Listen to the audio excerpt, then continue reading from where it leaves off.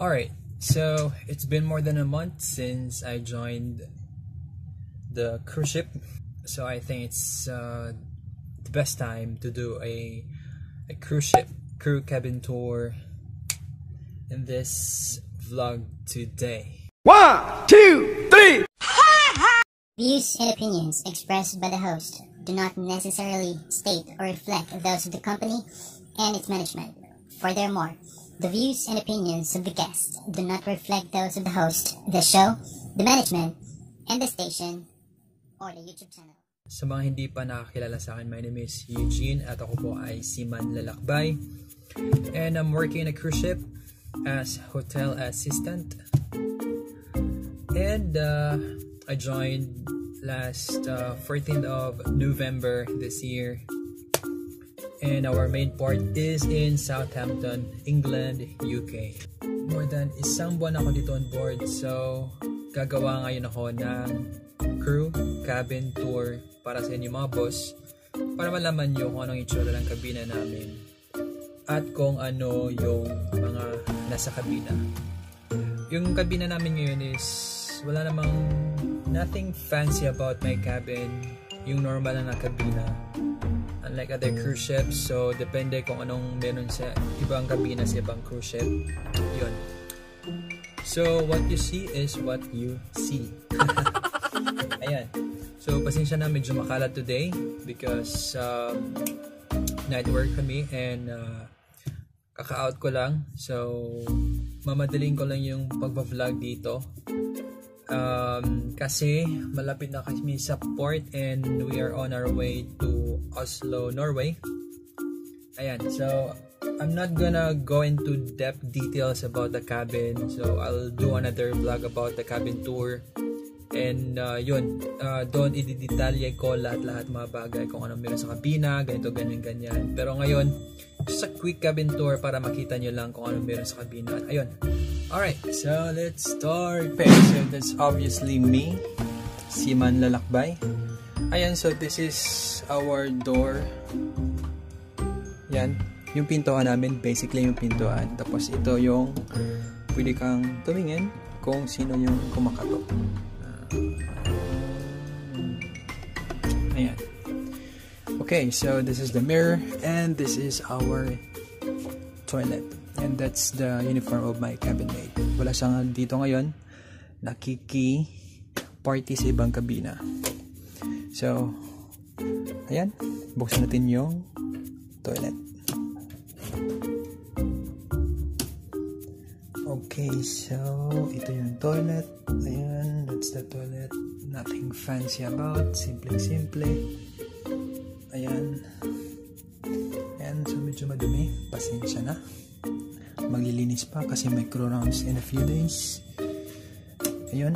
So, nothing fancy about our toilet. And this is our, sorry, this is our wash basin. This is our wash basin. So, hand soap and uh, yung dalawang ano namin. So, ito yung gamit ko. Ayan. And then, that's my cabin mate's stuff. And I don't know bakit may bagoong dyan. Hindi ko alam. And, uh, gumawa kami naming basurahan. This is our very modern television. Hindi. Ito yung ano, luma kasi yung TV namin kasi luma yung barko. This is the one of the smallest ship ng barko namin. Oh, barko namin. Ng barko ng kampanya. Ayan. So, this is the old TV. And uh, I think this will be replaced by next year because uh, magre-refit kami in France.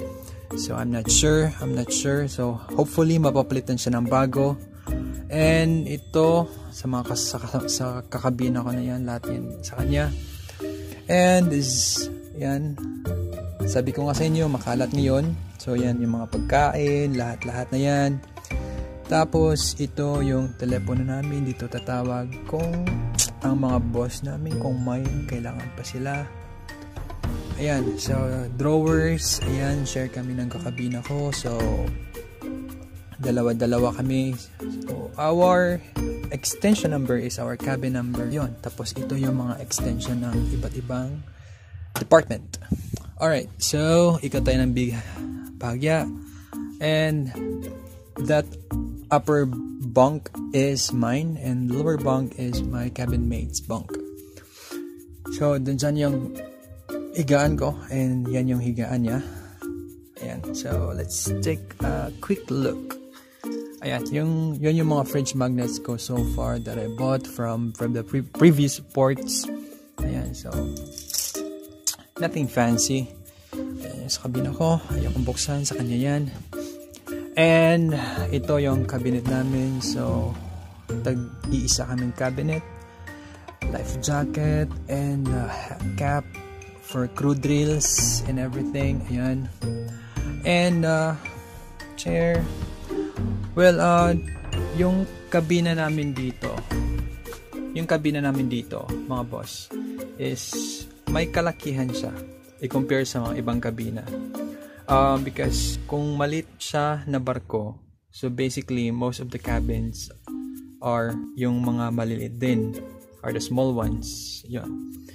So, surti lang nga ngayon kasi yung kabina ko medyo malaki. And normally sa kabina is dalawa kayo, may iba ding kabina na tagtatlohan, meron ding ibang kabina na apatan. Ayan, so depende yan sa barko. Pero sa amin, I think dito apatan. Hindi ko pa alam kung may apatan dito, hindi ko sure ah. Iban ko lang sa ibang department. Ayan. Okay.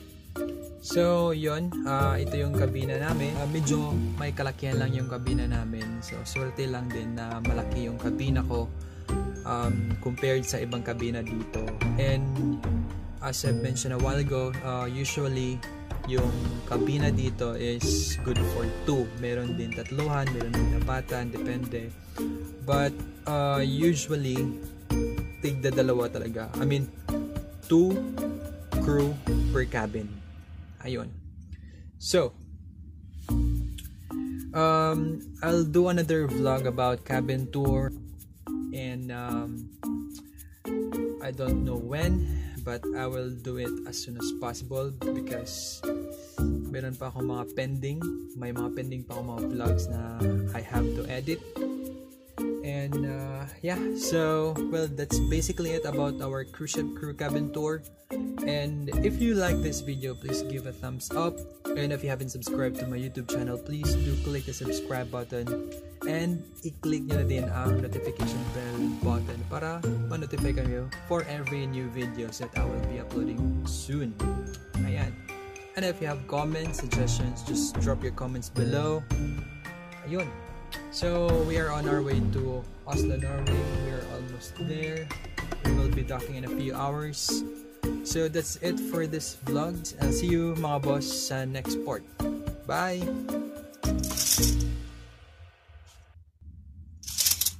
Oh, I forgot. Um, I would like to give a shout out to AJ Tumakbol. Thank you for sharing our YouTube channel sa Facebook mo. And uh, thank you, thank you, thank you, thank you on behalf of the Simon Vlog Squad. Thank you, thank you, thank you. And uh, mga boss, isubscribe nyo pala si John Jefferson Vlog. Um, isa din po siyang seaman at siya po ay isang vlogger din. So please subscribe to his channel. I'll just drop uh, his YouTube channel link below in the description box. Ayun. Alright, so bye!